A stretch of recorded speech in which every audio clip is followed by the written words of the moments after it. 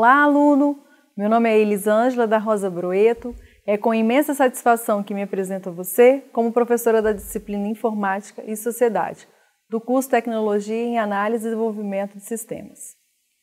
Sou graduada em Administração pela UVV, especialista em Marketing e Tecnologia da Informação pela UFES e mestre em Economia Empresarial pela Cândido Mendes, Rio de Janeiro.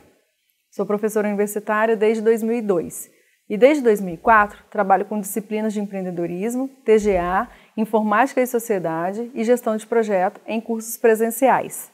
A minha experiência com alunos do curso da área de informática vem desde 2009, quando comecei a fazer parte do corpo docente do IFES. Em 2014, comecei também a lecionar em cursos à distância.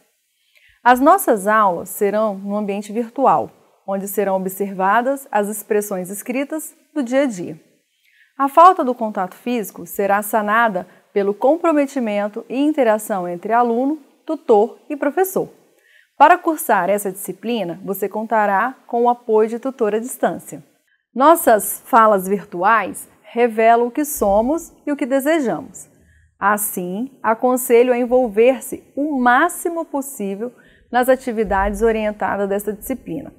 Isso significa que a organização de uma agenda, o cumprimento desta e a forma ética na sua participação do fórum, de sua contribuição no WIC e dos trabalhos de pesquisas realizados através de tarefas com envio de arquivo serão fundamentais para que logre sucesso. A disciplina Informática e Sociedade é composta de variados conceitos e reflexões contextualizadas acerca da nova sociedade que se descortina a partir da revolução tecnológica do final do século XX e o advento da informática.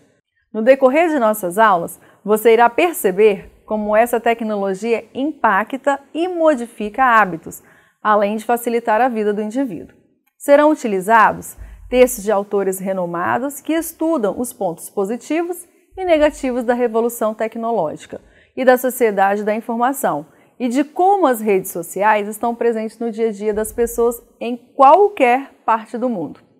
Todos os textos do material impresso e do ambiente virtual foram escritos e selecionados com muito critério, pois o objetivo é direcionar ao máximo o estudo para uma clara compreensão. O vocabulário, sempre que possível, será direto e objetivo.